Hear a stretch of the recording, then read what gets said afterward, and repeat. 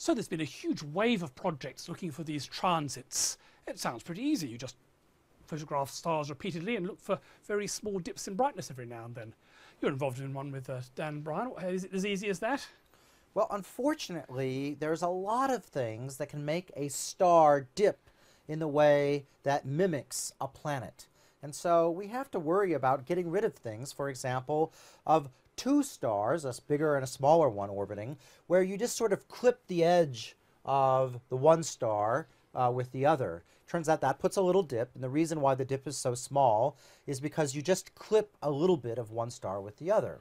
So we have to get rid of that effectively by looking at the velocity of the star because this system will have a much bigger radial velocity change. So it's a lot easier than measuring with you know the way you find planets, so you can get rid of that type of thing. But there are other problems as well. So in this case, we have uh, an eclipsing binary again where the star really gets eclipsed, but there's another star that is behind or in front. And of course, when we look through the Earth's atmosphere, one pixel is like, you know, much, much bigger than the screen. So you're averaging or adding up everything that you see here. So these two just by themselves are making quite big dips because they're big yep. things passing in front of each other, but because their light is diluted by the star over here, it makes it look very small. Right, and so that's a real problem. And so there's a couple ways we can get rid of this. One way is just to make sure, it, you know, that, uh, for example, all, you know, that the star that we're looking at uh, doesn't look like two or three different stars. The other one to make sure is that this star isn't a giant star because it turns out that when you're looking for transits, a giant star has a huge radius compared to the planet.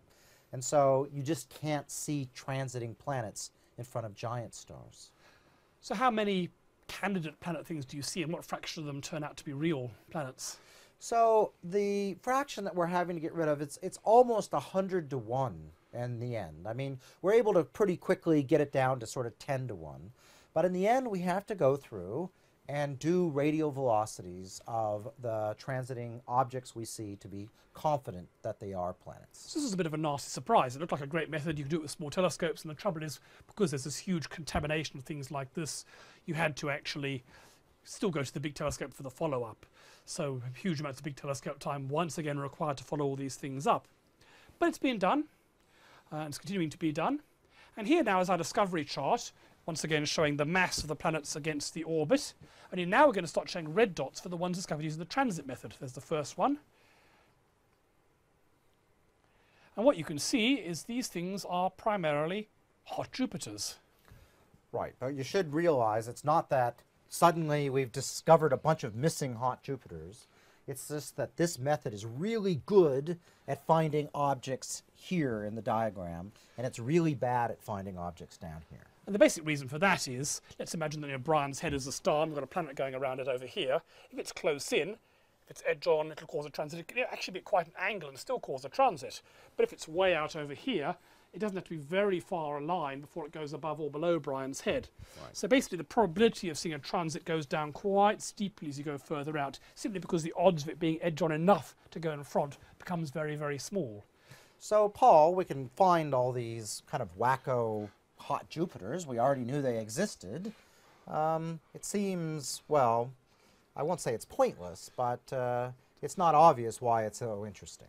Well, why it's interesting, I mean, yes, we knew hot Jupiters existed, but now we actually know the mass, not just m sine i, because it's got to be pretty much edge on. More important, we actually know the radius for these things. Uh, we were always assuming when we called these things hot Jupiters that they were gas giants like Jupiter with a density of about you know, 1,000 kilograms per cubic meter. But maybe they were actually giant rocky planets. In our own solar system, the things of the mass of Jupiter are, there's only one of them, and it's got made of gas primarily, low density. But maybe there could be massive things that are more like the Earth, the density of like 5,000 kilograms per cubic meter. So how can we tell? Well, here's a plot of the transiting objects. What we're plotting here is their radius in units of Jupiter radius. That's one Jupiter radius. And up here is the mass in all units of Jupiter mass. There's Jupiter. There's Saturn and Neptune. And this line here is what you'd expect for something that's primarily made of gas. So about Jupiter's composition. And these uh, error bars up here in purple are the actual planets we're seeing. So you can see that there is an object that looks about like Jupiter. Um, but most of the objects are a lot bigger radius. And remember, the volume goes as the cube of the radius. So being a bit bigger means you're a lot less dense. You really are puffed up. This is the first big surprise. It looks like these things are actually mostly, not all, but mostly considerably bigger than you'd expect from their mass. Um, so these things are very low density. So actually, incredibly low densities. Some of these things up here. I mean, Saturn actually was low enough density it would float if you had a really big bathtub. These things are more like the polystyrene type densities, incredibly low. Oh, so we do know that they're very near to the stars. So maybe they're being puffed up by the fact that they're close to their stars. Well, this was the first idea people had. You, you take gas, how do you make it low density? Heat it up. As it heats up, it becomes less dense. So these things are very close in. So just how hot are these hot Jupiters anyway? Now if you remember, a while back we derived an equation for the temperature of a planet in equilibrium. We balanced the radiation in from the Sun with the radiation out, assuming it absorbed and emitted perfectly and was all the same temperature, which is not very realistic. And we found out that the temperature is the fourth root of the luminosity of the star all over 16 pi Stefan Boltzmann constant sigma and d squared where d is the distance between the star and the planet. So we can use this to work out the temperature of a hot Jupiter. Let's do an example. So let's say we have a solar luminosity star. So in that case that's the luminosity of the Sun. Um, let's assume it's 0.05 AU out. Then if we plug numbers in, we end up with a temperature of around 1240 Kelvin. So pretty hot. If the star is less luminous and the planet's far away, the temperature will be less. So Paul, to explain why these objects are so much less dense than Jupiter, and you kind of expect Jupiter to be how a planet would form, you would think, uh, let's plot it as a function of temperature and have a look at what we see, uh, because that's one possible idea to explain things. So here we have the planet radius versus the planet temperature, and there does seem to be an effect.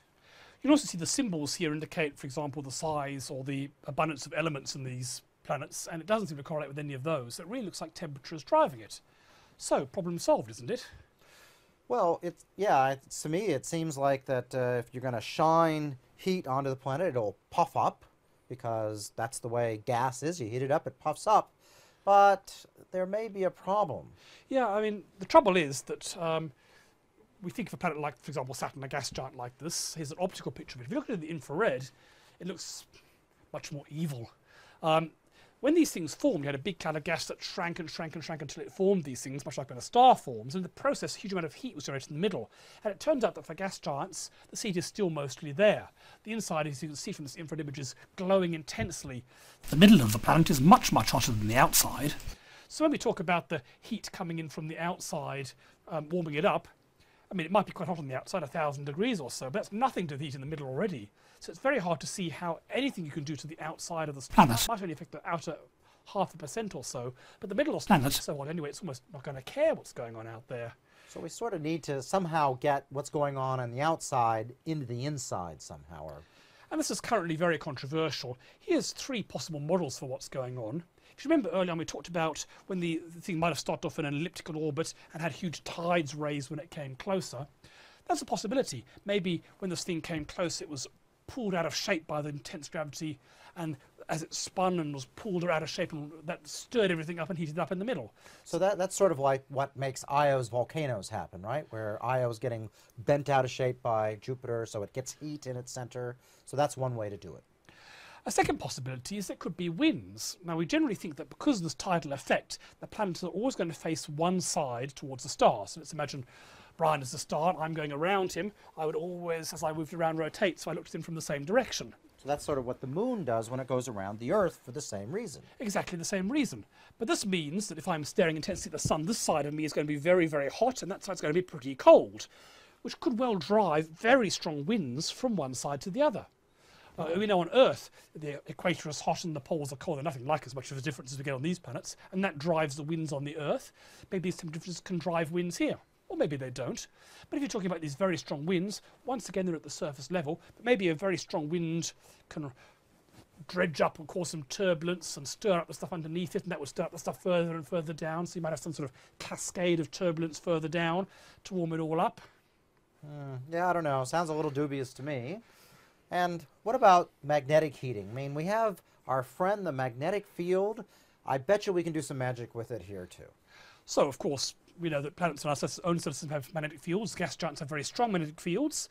Um, maybe if you have this gas at the top is ionized, um, that means it's going to pull the magnetic field lines along with itself, and they will then pull on the stuff inside. So maybe that's a way to communicate maybe the winds at the surface uh, down into the middle. All right, so we have some models here, but maybe not a solution yet.